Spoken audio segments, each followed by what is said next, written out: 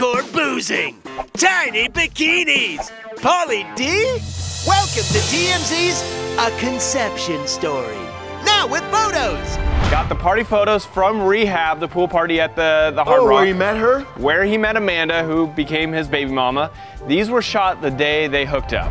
Yes, it was the summer of 012. The UN had just declared civil war in Syria. A young Mitt Romney was full of hope, and a DJ named Pauly D was spinning at the same Vegas club where this elegant young lady was double fisting novelty sized cocktails. It was meant to be. Do you see uh, the sparks? Well, no, you just see her with a bottle of champagne going. She was up on stage with the bottle of champagne spraying the crowd. That's how they met. They go back to their room, have sex. Nine months later, the baby pops out.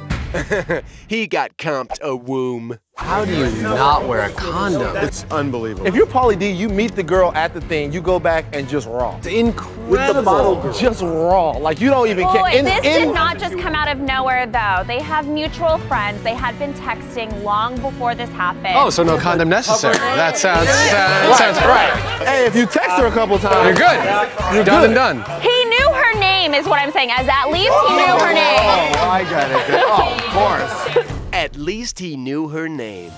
This has been a TMZ conception story.